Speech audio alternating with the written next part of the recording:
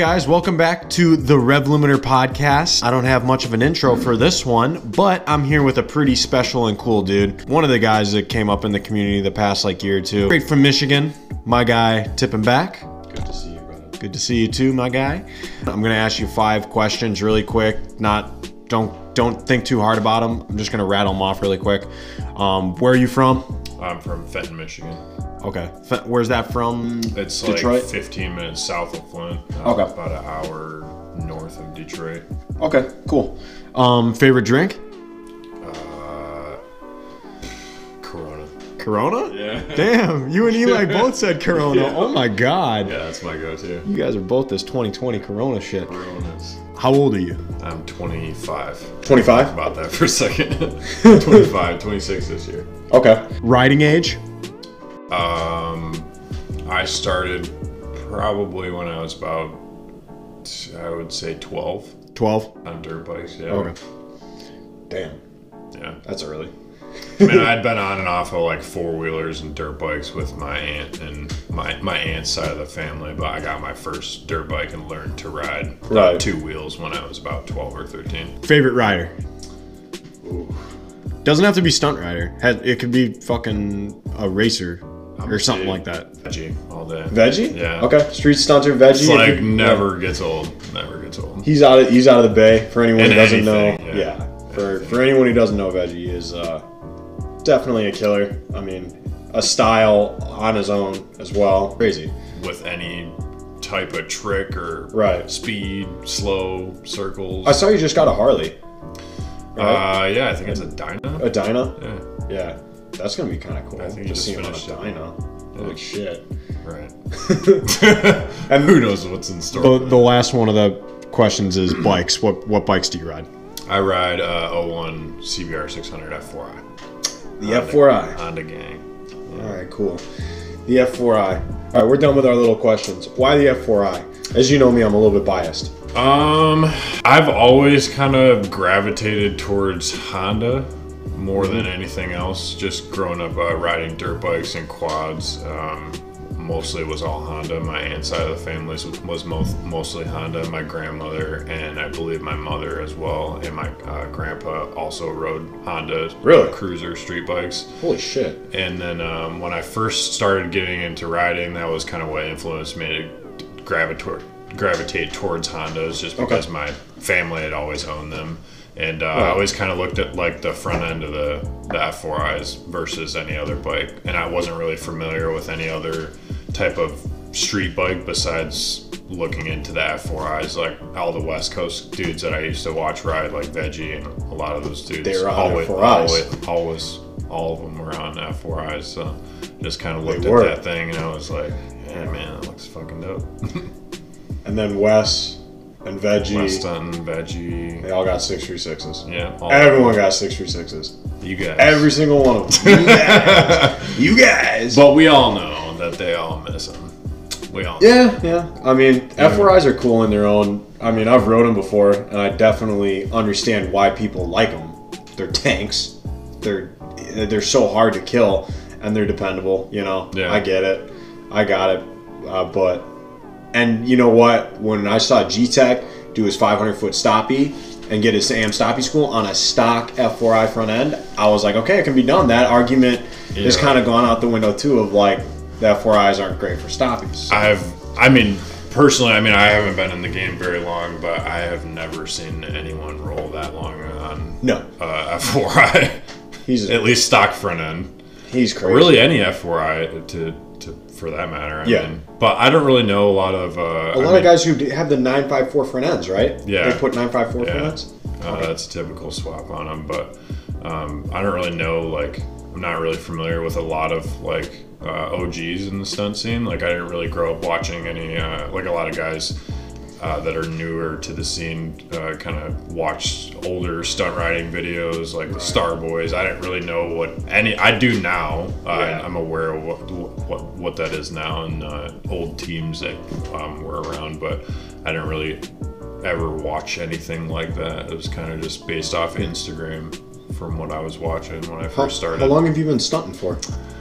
Um, I started legitimately taking stunt riding seriously as far as uh, trying to stay in the lot and like learn balance point and do seat standers and uh, get a base of tricks. Uh, probably middle of the season in 2018. Okay. Yeah, Oh, so shit. probably about three and three and a half years and some change or so. Okay. Right about three years, yeah. Yeah, 2021.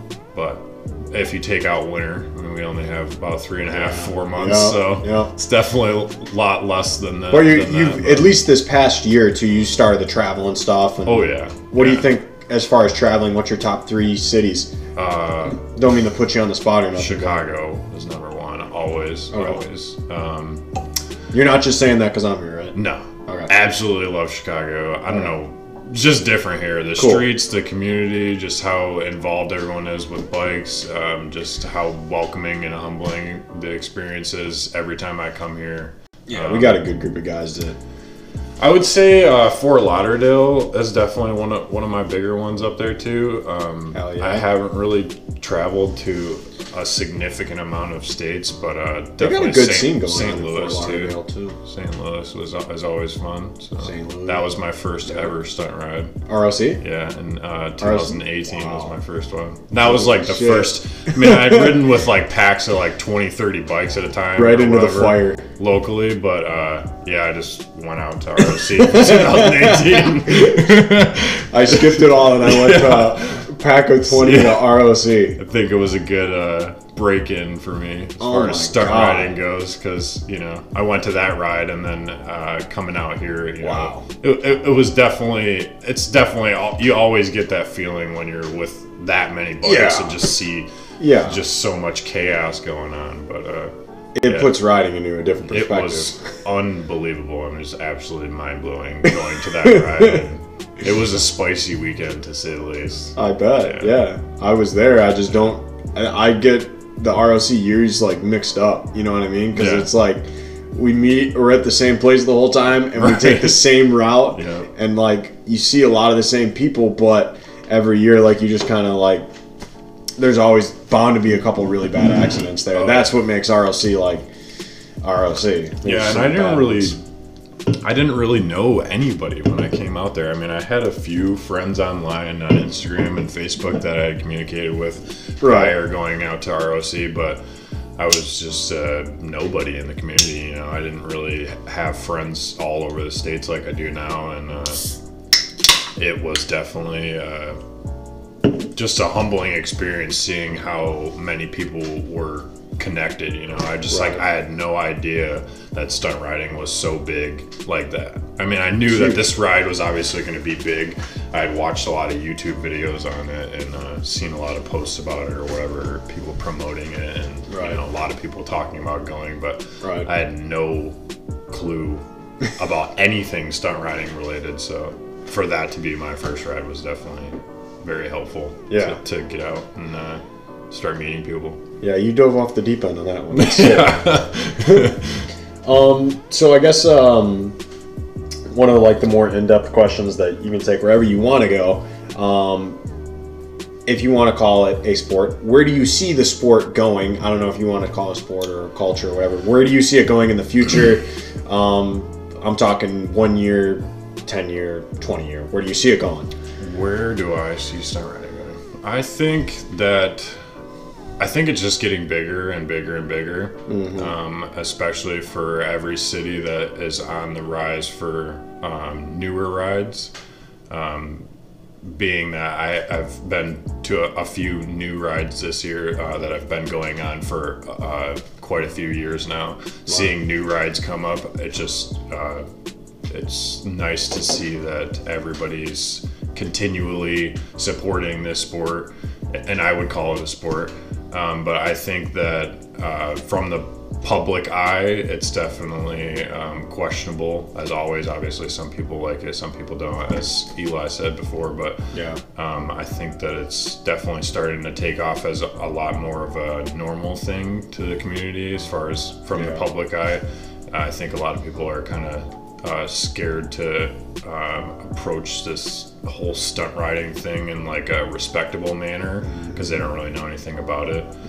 But um, I think with within the next few years, it'll definitely be definitely be more normalized in a lot more places that More are mainstream. that are starting to do uh, more rides. Uh, the communities are starting to see more of these wheelies and, and Yeah. people kind of just throwing these rides and doing stuff like that. definitely i definitely think you're right on the size and the amount of people getting into it like over the past couple of years just in my hometown or just going out of town and stuff like comparing like dallas this year compared to like dallas like two years ago when i first went like the scene's just growing and Yeah. i don't know if that's be- i don't know if that's because of the riders in it i don't know if it's because of the companies backing it i don't know if it's because of the social media growing i don't I know mean, I think it's just a big part uh, in don't youth. know. I mean, a lot of the youth that's coming up, I mean, it's just starting to become a more normalized thing. I mean, stunt riding is not new by any means. Right. I mean, some people, to some people, you could say it's new. Um, but I think stunt riding is starting to become more mainstream. And I think a lot of people, more people are starting to get interested in it, especially uh, considering all the people, all the younger uh, dudes that are doing, or women, dudes, whatever you, whatever you want to, he, she, they, they uh, that are doing uh, pedal bike wheelies, uh, stuff like that. I think that's a big influence on kids Yeah. that are trying to up. Uh, a lot of kids, uh, you know, look up to Yeah. stunt riders. They think that doing wheelies is cool, and uh, you know, as long as you play it safe. the pedal bike scene too, man. Holy crap! Like, know. I when I was growing up as a kid, I, I was coming up in the BMX world. You know, I was BMX racing and stuff. Mm-hmm. I, that was never a thing. The big, the big rippers, the wheelie, I ped, like that was not a thing. That was it was you were hitting the trails, or you were in the park, or you were on the track, and it was like you were jumping, jumping, or jumping, just in different ways. Right. Like I didn't see I didn't see any type of pedal bike movement like how I do online nowadays. I Yeah, mean, holy I feel shit. like that's even just so new for me to see. I didn't Yeah. know that that was so big. I mean, even in, even in Detroit, Nuts. that's about an hour from me. they have a scene for pedal yeah. bikes. Yeah, they No do way. ride outs. Like they're doing ride outs like Oh every week God. now, um, and it's it's crazy to see for me because I, I was the same way. I mean, when I was in high school, middle school, um, I had like a BMX bike, you know, with the short Right. seat, and like wide bars, brake cable or whatever. And um, I would always hang out at this little apartment complex spot that had like uh, big double dirt jumps in the back and stuff, and everybody would kind of hang out back there, but nobody was just like doing just strictly Wheelies wheelies. Yeah. especially with like uh, disc brakes. They have like fluid in the brakes and stuff. It's That just was not a thing. Like yeah, and then like these big wheel bikes. I mean, when I was in high school, I, I remember seeing uh, quite a few uh, guys rock the bigger wheel like mountain bikes. Yeah. But it, was never just strictly for wheelies, especially not out in the street. So Yeah. it's definitely a whole different ballpark. But a lot of respect to all those guys that do Absolutely. it because I've personally tried to wheelie uh, on one of those SE bikes or the big flyers or whatever you call them. big rippers. and it takes a lot of work. So Absolutely. everybody's that, that's doing Ralph Louis. I don't even know what the hell you Yeah. call the tricks that they do on them, but it's just mind blowing uh, trying to wheelie one of those bikes and then Yeah. looking at all these kids just And they have massive rideouts too. Oh, yeah. massive. hundreds of. Yeah, Hundreds. probably thousands of those Yeah. big ones. Like Yeah. I've seen like the ones that like our our blocks or whatever his name is out in uh, New Mm-hmm. York puts on. Yeah, I'm like, holy crap! yeah, Where are all these kids coming from? And there are a lot, a lot of kids. So that's, I mean, you think stunting is a new sport. I mean, stunting was around at least when we were kids, you know, like I knew stunt riding was going on when I was doing BMX. Um, but that bike life scene is definitely new, new. Like the bike, bicycle life Yeah. scene. and it's it's just like it's it's just like spreading like wildfire. Absolutely. And I think that Absolutely. with our with our sport stunt riding uh, you know it's like an acquired taste for people it's not for everybody and obviously uh, with anything it's not you know um, wheeling uh, street uh, little pedal bikes is not for everybody either but Yeah. i think um, having a pedal bike is a lot easier to acquire than a stunt bike so i think that's also Agreed. why it's just Yep. it just took off and just got Yeah. so big because it's um, you know some of those bikes are expensive but i mean you can wheelie a little you know cheap walmart bike you Twenty know, dollar 20 bike. bucks so, Yep. it's definitely Cops cool. cops look at a bicycle wheeling a lot different than a motorcycle too. Yeah, but I think that's. I think I don't know. There's a given. It's push and pull and give and take with it because there's a lot of the similar issues that we have stunt riding in the city that the Yeah. police are doing the same thing with Yeah, pedal bikes I with these young kids, out, and it's it's sometimes disappointing to see. You know, there's Yeah. good and bad with everything. Uh, police are you know people doing wheelies and, and whatnot, but it's definitely Yeah. uh, taking off like crazy. take yourself out of your shoes for a second for this next question. Um, you're 16 years old or 18 years old, whatever. You just got your motorcycle license. You want to get into stunt riding. Um, what what is your advice to that 16, 18 year old dude or girl or whatever that wants to get into stunt riding that you know doesn't really have any clue where to go with it? What, what's your advice for that person? Um, as far as getting invested in stunt riding, I think the biggest thing for me when I started was trying to communicate with just as many people that I felt comfortable communicating with. Um, There was a lot of people that were sort of intimidating for me to talk to that I felt like, you know, just um, I get, uh, you know, uh, messages here and there from people are like, uh, what bars do you run or how should I route this cable or, or something like that. And, uh, you know, just let it be known that it's okay to ask those types of questions. But Right. I think it's best to, to reach out to other riders in the community and try to uh, gain as much knowledge as you possibly can. Uh, don't be stubborn when you don't, you're not knowledgeable about the sport Yeah. and uh, I don't know. I mean, stay safe and you know, just learn as much as you can. Be a sponge, you know. Right. Yeah. Go I around, think- go around those guys and But yeah, I think as much. communication is definitely the biggest thing. Um, when I first started getting into just street bikes alone, I mean, um, I'd run into you know Joe Schmo down the street or whatever, and he would ride with me, and then I'd meet his friends and go ride with them. But you learn something new from every single person that you ride with. Um, everybody has a different riding style. Everybody has their own preferences, how they set their bike up. You're basically saying just be be a sponge, be around Yeah. the dudes that you want to emulate, ask the questions that you want to ask, and yeah, just I keep, guess just keep meeting yeah, people. Communication. Yeah. and meeting people is the biggest thing. Um. So the biggest city by you would be Detroit, of course. Yeah. What is um what's their bike life scene like out there? I've I haven't been. I really want to go. I understand that the scene's unique out there in a lot of ways.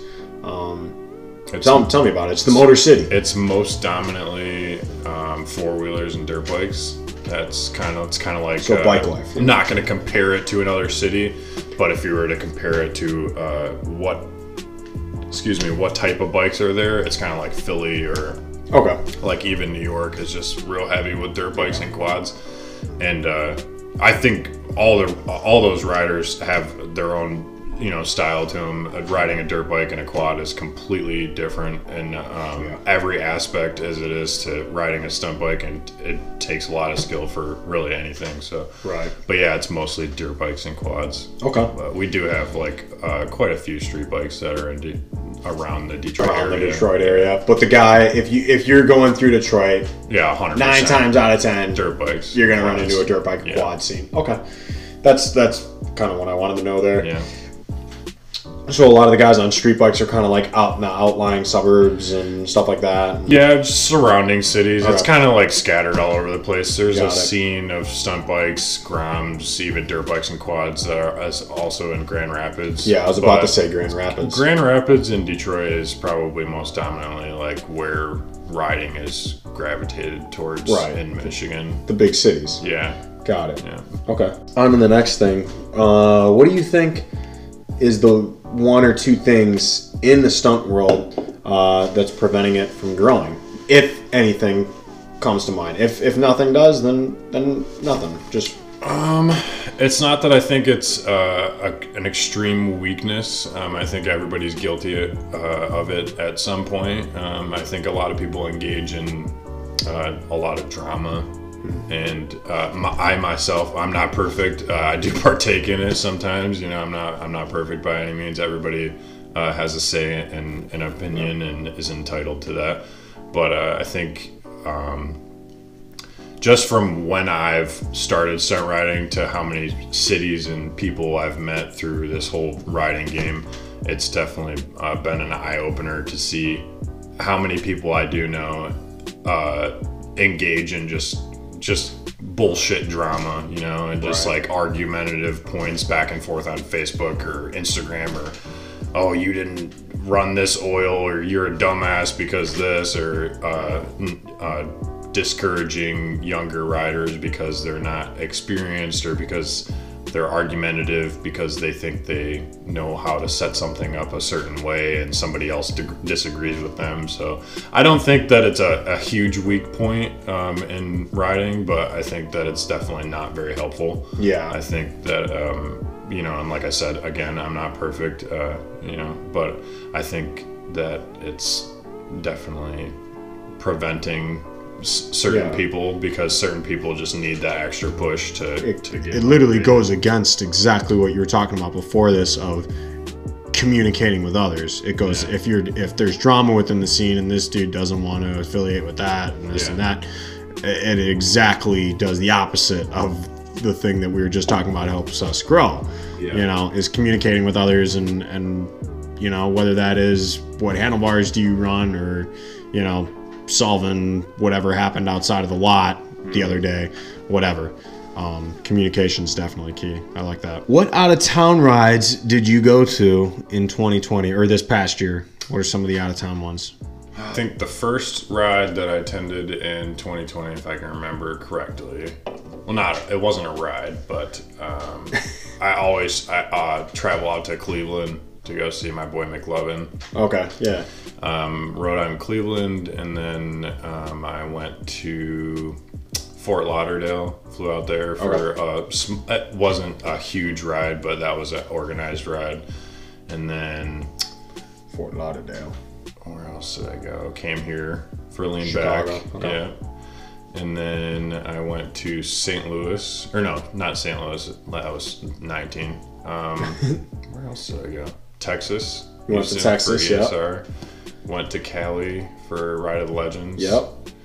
And then Orlando for Okay. uh, For winter winter vacation. Yeah. Got it. I think that I think that nails That's all a solid lineup. Yeah. That's a solid lineup. But There's some I, good I came out here to Chicago a few times to ride. Yeah. Just, just for the weekend, just pop out. You came to Grand. feels like you came to Grand. Rapids for Murder the Mitten. Murder the Mitten too, yeah. Came to Murder the Mitten. Yeah, that was my first time riding out in Michigan. That was a good time. I, I, I got nothing. Yeah, I got nothing but love for the Michigan dudes, Yeah. man. Everyone treated me like family. That was cool. Yeah. Although you took a nasty spill, yeah. that sucked. that was a nasty one. But uh, other than that, I like Michigan a lot. Yeah, it's a fun place to ride. Um, I wish there was more cities that we could ride consistently in Michigan, but Detroit you can ride. Um, I'm not really familiar with the city too much, so I don't just go out solo and ride. But um, Grand Rapids, uh, I have a few friends down there that ride, and it, the city is a lot more chill than any other place I've ridden in Michigan as far as streets go. What do Detroit cops think of stunt riders? Um, it depends. Uh, it's kind of just cop by cop basis, yeah. It's really by the cop. Uh, Yeah. You know, we've had some crazy days where you know they'll come right in oncoming traffic with Mm. you know helicopters and jump out of the cars and try to tackle you. And some days you just get cops that are just wave at you, or some days there's just none that you pass. You know, so Right. I mean, Detroit's a crazy city. I mean, there's a lot going on, but Yeah. it depends on the day, depends on uh, the person. I think for the most part, it's it's pretty pretty laid back. I think they um, the beginning of the season and the end of the season, and maybe like right dead center in, in the middle of summer, they get pretty aggravated that uh, bikes are out So all the time. out, yeah. But it depends on the group of bikes, how many bikes, Hmm. um, you know. Yeah. I always think that the crime in the overall city has a big dictation on the way those cops are going to be, you know? So I would think of stuff like Detroit or St. Louis or Chicago, and you would just associate the cops are on to bigger and better things, you know? And then you go and it's not it's not always the truth but i mean overgeneralizing i haven't been to detroit st louis and chicago for the most part i have seen her kind of that way um, but then you go to other cities and it's like holy shit, we got Yeah. it really good here. You know, like there's there's other cities that you might as well just shot at a cop if you do a wheelie on the street. You know what I mean? Like that's Yeah. how aggressively they're gonna chase you. So I think it definitely, like I said again, it just depends on the person. Uh, I mean, it's the same thing riding out here sometimes for me. There's Yeah. not been a significant difference that I've really noticed with um, Detroit as far as other cities go. yeah, Um, I've definitely even thought that there's way hotter cities than than Detroit. Obviously, um, I could just name a few off the top of my head, but I definitely think that uh, Detroit's a pretty chill place to ride. It's not a, it's not a very very hot city to ride. I gotta and come. depending on where you're riding. I gotta come. All right. Um, what do you think your biggest accomplishment um, is in riding so far? Like as far as your riding, you know, career has gone. I think just for me, riding as far as uh, an accomplishment is just acquiring a family of friends. Okay. Um, I think That's that's, awesome. a huge uh, part for me. Is extremely important for me to keep in touch with uh, certain individuals that I've met. Um, not you know, I, not everybody is uh, extremely close to me or uh, to the next person, but I think that um, as as far as accomplishments go, that's a big accomplishment for me. I've uh, definitely wanted to grow in the community more as a family and friend type deal um, Yeah. with each person, and um, it it goes both ways. Uh, when you're traveling and you need a, a place to stay, or you know, you just randomly want to get out of the house and uh, take a vacation or whatever, and uh, you go see you know your homie and cross the country. It's just super cool to Yeah. to bond with people just simply over riding. Um, another accomplishment I think I've made is just trying to see the world. Uh, I definitely did not do any type of traveling before I started riding. I actually only had uh, traveled out of state one time to um, see my twin sister graduate from the Marine Corps boot camp. Wow. And besides that, I never went anywhere for vacation. So stunt riding really opened my mind to traveling, and now it's just like an addiction. I just always want to be on the road. Obviously, always love coming home, but it's definitely huge for me to um, accomplish starting traveling while I'm young, while I can do it. Those are awesome. Yeah. Those are the two best answers I've ever heard. Love it. Appreciate it. I think that's the best part of stunt riding right there there is the friends you make. For sure. 100%. These are guys that are going to, you know, push your bike 10 miles for you, or they're guys that will literally. Um, I'm still almost almost done with this one. They're guys that are going to carry you into the hospital. They're guys that you know will put you on the back of their bike when everything else is going wrong in your life behind you. You know, whatever. They'll they'll risk it all for you. So it's important to have that community, and that's definitely probably the the best part of stunt riding is the people, the friends. Absolutely. You got to trust those guys. You yes, you have to.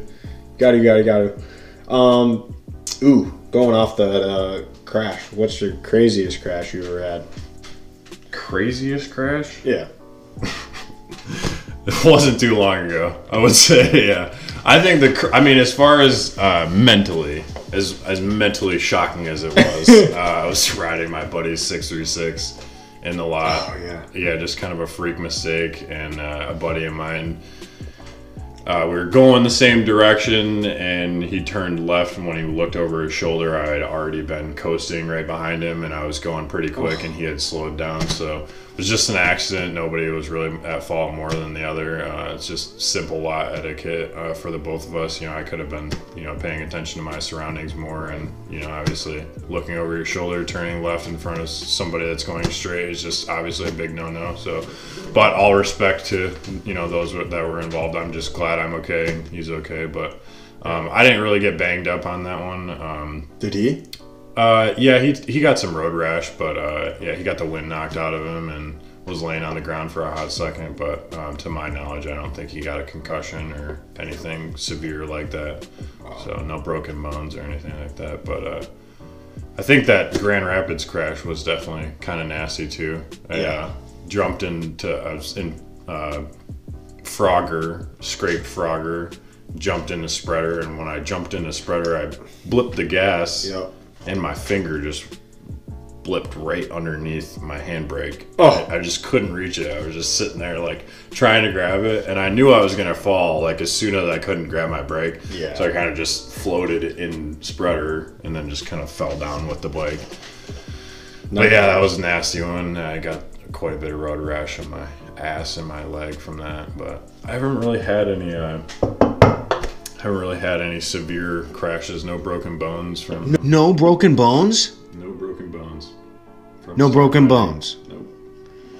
And you've been doing it for three years. My ankle pretty bad at the lot one day. I was doing a circle and uh, the bike, the nose kind of dipped down and I didn't gas it enough. And I kind of like blipped the gas and I jumped off the side of the bike.